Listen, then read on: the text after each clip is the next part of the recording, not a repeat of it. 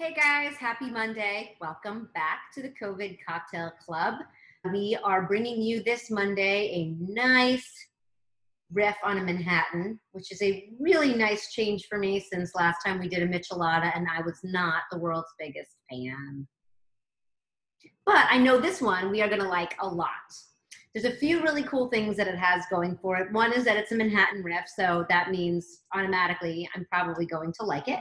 The other is that it's using aged rum, which Jason is on a, a huge kick to make sure everybody falls as in love with it as he has. And I am newly swayed as well. So now I'm, I'm excited about using my Pampero Aniversario that I, uh, that's my second bottle.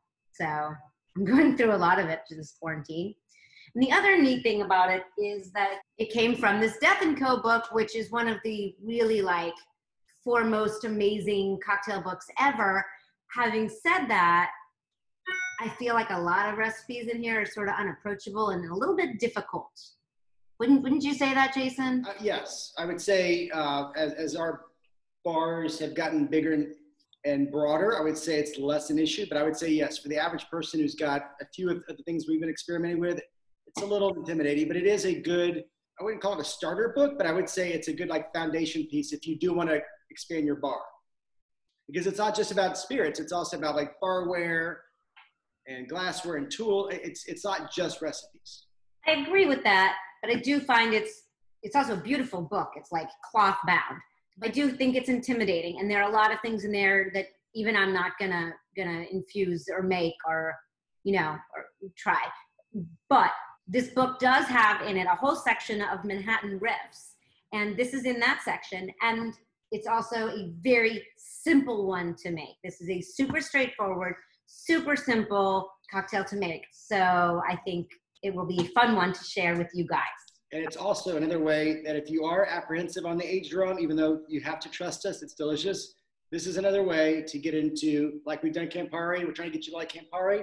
This is a good one to test your feelings on aged rum because it actually has some very similar attributes. That's a good word, right? To bourbon. Yeah, but it doesn't stand alone in this one. So this is one that I think you'll like. No citrus, everything is liquor. So we're going to stir it. We're gonna start with two ounces of aged rum. What aged rum are you using? This uh, Kirk and Sweeney, it is delicious. It's a Dominican rum. It's been aged 18 years. Truth be told, I bought this and two or three other versions because um, I like, well, one, they were aged 15, 18 years. I love this bottle. That was beautiful. So that's sort of my way to sort of test them out. No matter how beautiful the bottle is, if I don't like it, I won't buy it again. Yeah, I like this one so far. I've been drinking this one actually on the rocks with a splash of the cinnamon simple syrup. Why, what's that face for? It's delicious. It's on the rocks with cinnamon simple syrup. So you're making a rum old fashioned. Sure. Yes. Three quarters an ounce of sweet vermouth. So it actually calls for this punti mess which is fun to say. I'm sorry. I'm sorry. What did you call it? Undime. Any sweet vermouth you have, I think, will probably work in here. But uh, since I had a bottle and it actually specifically called for it, I am going to use it. Do you do you find it's any different? Not really. I think it's interchangeable. Although I, I will say, after a few of these, especially if you have like a group of people that are drinking a lot of these, it is fun to get everyone to say Punti Meth like over and over again and see how the name changes the more drinks you drink. I think the punti Meth is a little bit more bitter and the Cocchi is a little bit sweeter. So maybe that's why it called for the punti Meth because the would be too sweet. The rum is already a little bit sweeter than a bourbon, plus the Averna, which is also going to make it very sweet. So maybe that was, uh, you know, for a balancing effect. Half an ounce of Averna. One dash of orange bitters. I suspect these orange bitters are actually going to make a big difference here. One dash? One dash. And I'm actually, just to get ahead, as you guys will soon see, there's no garnish in this. So where normally you would, you would have a good cherry, no shitty cherries. There is no cherry in this Manhattan variation.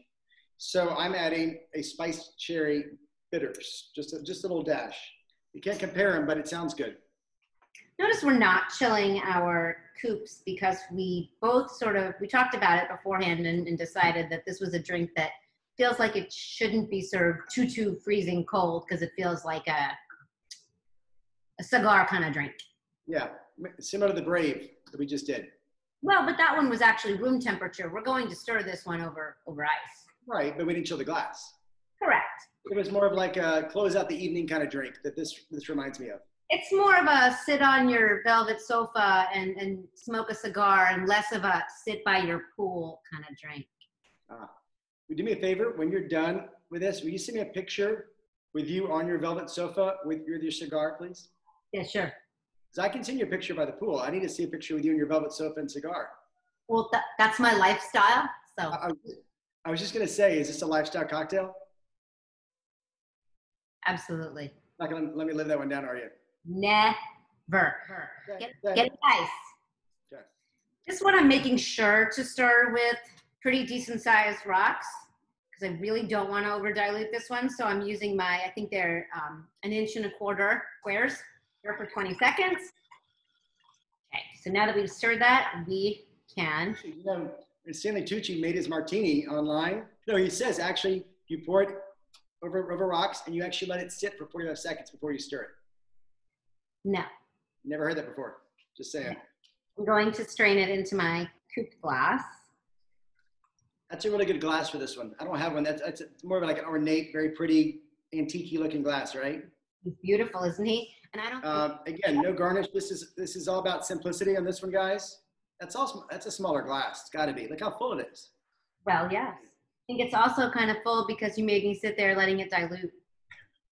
You want to talk about Stanley Tucci? I like Stanley Tucci. Go see Big Night. That's that's that's my that's my words of wisdom for the day. If you've not seen Big Night, Stanley Tucci, uh, Tony Shalhoub. Would you like to discuss Wednesday now? Okay. So we're going off of like a, would you call this like a stepbrother to a martini, cousin, brother-in-law, whatever. So uh, yes, there is a James Bond connection with this drink. So Wednesday, have your martini, have your coupe glasses ready. I almost, I almost say martini glass. Have your coupe glasses chilled, ready to go. Have your vodka, have your gin. We're mixing the two, and have your. Well, I have a few options. You have Lillet. You have what else? Cocchi, Americano. Anything else you suggest? And if you don't have those, any other dry vermouth Yeah. and a lemon. So again, another simple drink. Uh, come Friday, we're gonna go way off course. We'll see you guys Wednesday. Cheers, Rysse. Cheers, Jason.